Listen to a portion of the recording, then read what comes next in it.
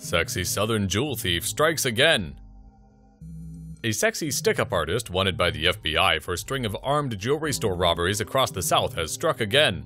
The unidentified gym bunny held up a jewelry store in North Carolina at gunpoint on Monday in what authorities say is her sixth heist. The FBI are also hunting this 6-foot, 250-pound man who is thought to be the woman's partner in crime.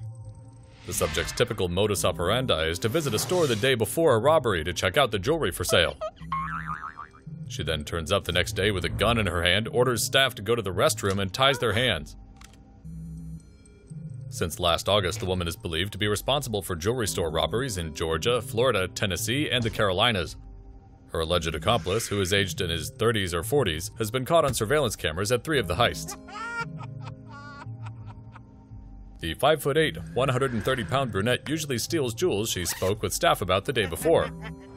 The feds say the pair are armed and dangerous and have used several different getaway vehicles.